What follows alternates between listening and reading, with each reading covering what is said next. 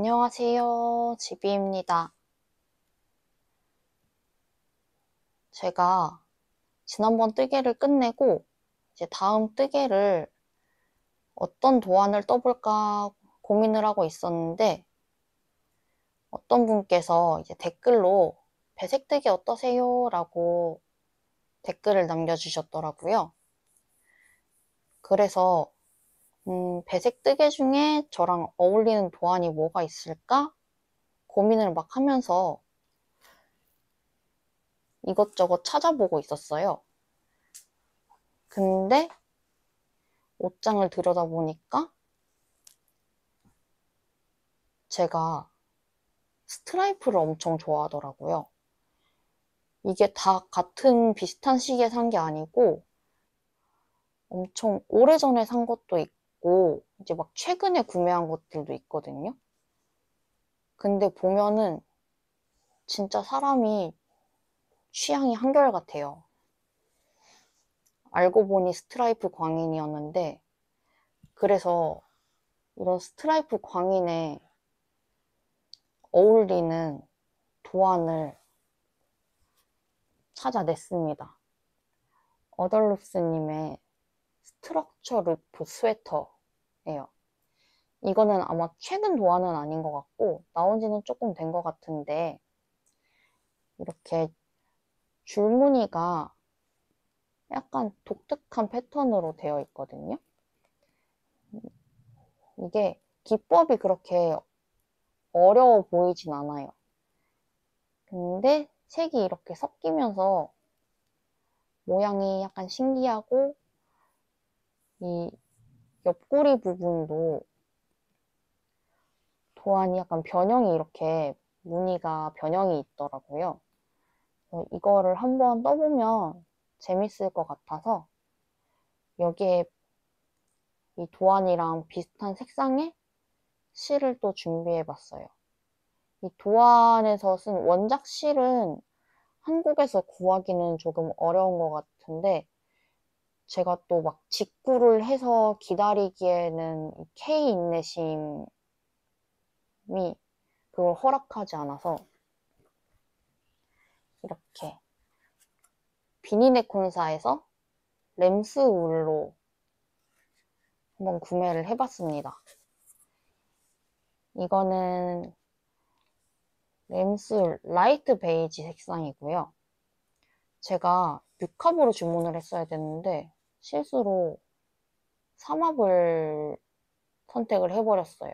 그래서 합사를 해서 사용을 해야 할 것 같고 얘도 마찬가지로 6합으로 주문했어야 됐는데 제가 3합을 주문을 해버렸습니다.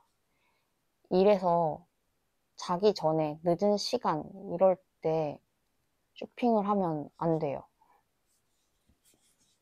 그러면 저처럼 몸이 고생합니다. 근데 처음에 이거를 합사를 해서 게이지를 내는데 얘가 엄청 쫀쫀한 거예요. 그래서 이게 게이지가 안 맞으면 이제 사이즈를 조정을 해야 되나 아니면 바늘 바늘을 굵기를 늘려야 되나 고민을 하면서 이제 세탁을 했는데 막상 또 세탁을 해보니까 제시한 제시한 게이지랑 코수랑 단수가 정확히 딱딱 맞더라고요. 원작이랑 다른 실을 쓰는데 게이지가 맞으면은 되게 기분이 좋아요. 그리고 느낌도 생각보다 엄청 이렇게 차분한 베이지에 원작이랑 얼추 비슷한 느낌이 나는 것 같아서 어, 약간 기대가 됩니다. 사이즈 자체는 이게 오버핏 사이즈로 나온 거라 M 사이즈로 뜨면은 저한테 맞을 것 같아요. 그래서 이번에는 한번 M 사이즈로 떠보려고 합니다. 약간 작게 나와도 그냥 정핏으로 입을 수 있지 않을까요?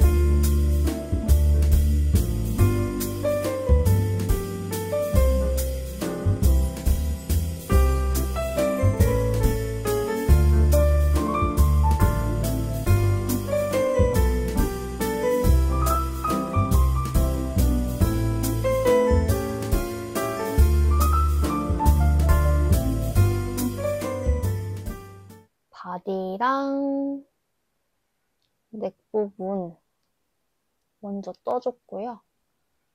전체적으로 보면 이런 모양입니다. 이제 소매만 남았어요. 보시면은 이렇게 옆구리는 고무뜨기로 되어 있고 여기는 이제 도안에서 제시되어 있는 무늬뜨기가 반복해서 나옵니다. 아랫부분이 되게 예쁜데 화면에는 잘 안 잡히는 것 같아요. 그리고 목 부분은 이렇게 겹단이에요. 겹단 이제 다른 작품으로 제일 처음 떴을 때는 이게 되게 막막하고 틀어지기도 하고 해서 좀 어렵게 느껴졌었거든요. 근데 몇 번 하다 보니까 이것도 익숙해져서 음, 그렇게 어렵게 느껴지지 않고 약간 이렇게 톡톡한 게 마음에 들어요. 뭔가 이대로 조끼로 입어도 될 것 같은 느낌? 이지만 어림도 없죠. 소매 마저 떠주겠습니다.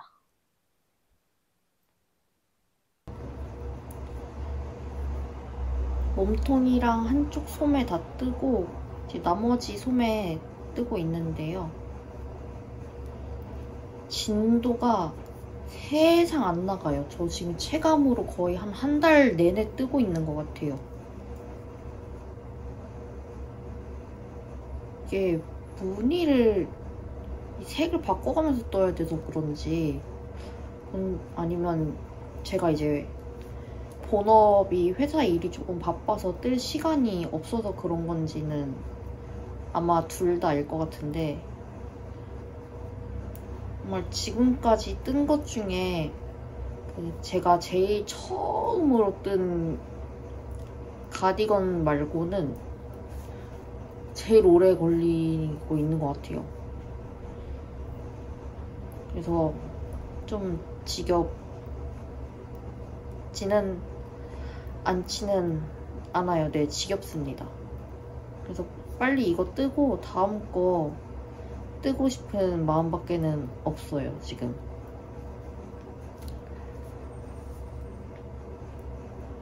오늘이 금요일 저녁인데 아 사실 주말 동안에 다 뜨고 싶기는 하거든요.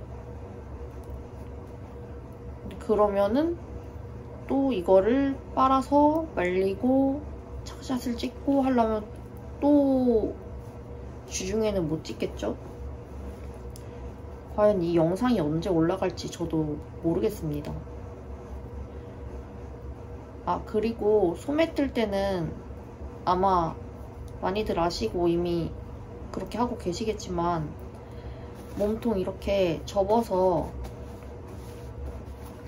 이런 백 같은 데에 넣어놓고 하면은 편해요.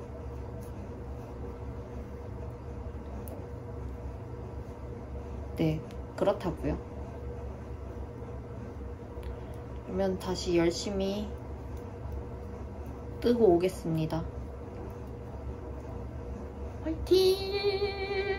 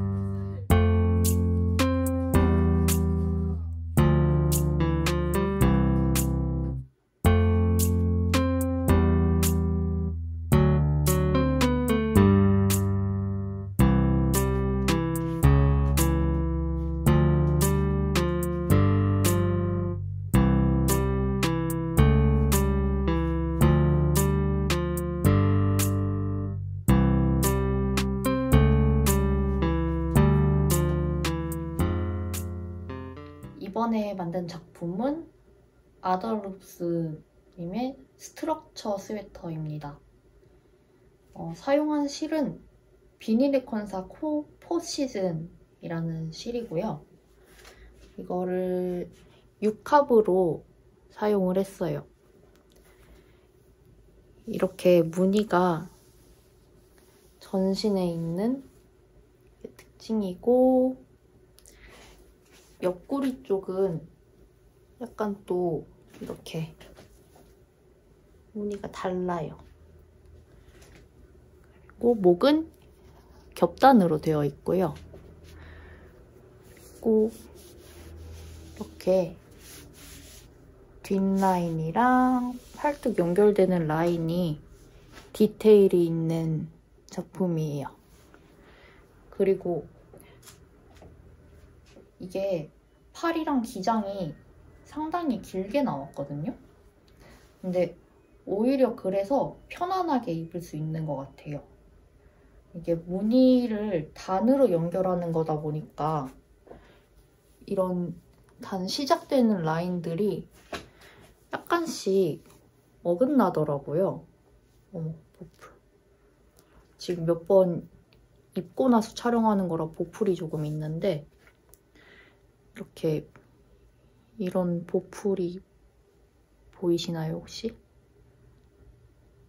지금 한 두 번? 세 번 정도 입은 것 같은데 이렇게 보풀이 일어납니다.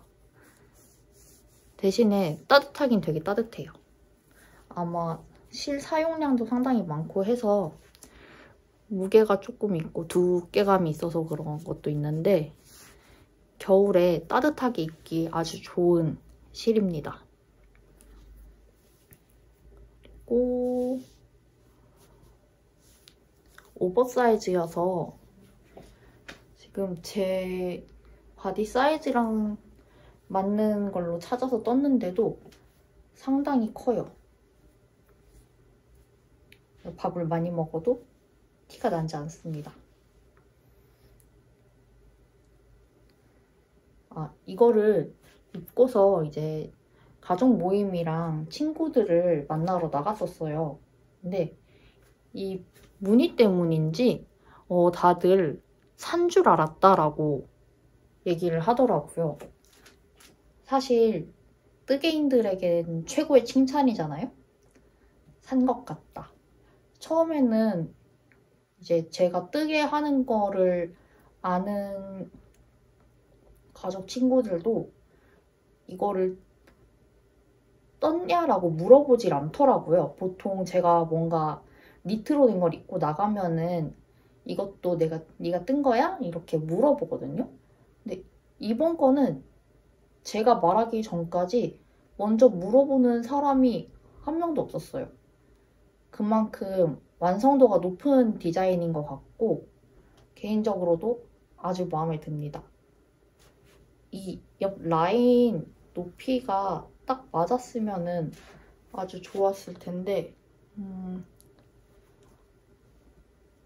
뭔가 무늬가 조금씩은 달라요. 아마 그 패턴을 패턴을 따라서 떴으면 더 좋았겠지만 제 실력이 아마 거기까지가 아니라서 그건 좀 힘들었겠죠?